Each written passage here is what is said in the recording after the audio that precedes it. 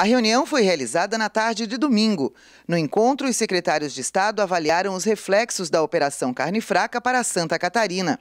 Em pauta, a rigorosa fiscalização dos produtos de origem animal e a garantia da qualidade na produção e na comercialização desses produtos, com ações que permitiram ao Estado a conquista do mercado brasileiro e o de mais de 150 países. Colombo salientou que Santa Catarina não abre mão de preservar a saúde dos consumidores, mas que não poderá abrir mão também dos empregos que a agroindústria gera e de proteger as famílias produtoras.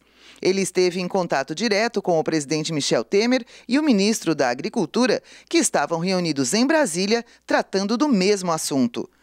As 600 empresas de produção de carnes do estado continuam com um médico veterinário responsável pela inspeção e enfatizou que os produtos das agroindústrias de Santa Catarina são absolutamente seguros para o consumo. Nós temos mais de 600 unidades de produção e uma está sendo investigada, que é uma pequena salsicharia.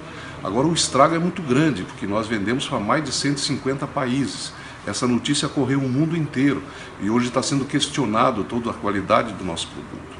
Me reuni até agora com todos os nossos técnicos que dão todas as garantias. Em todas as unidades existe de produção, existe o acompanhamento de um, de um profissional, um médico veterinário, que nos asseguram que todos os consumidores podem ficar tranquilos.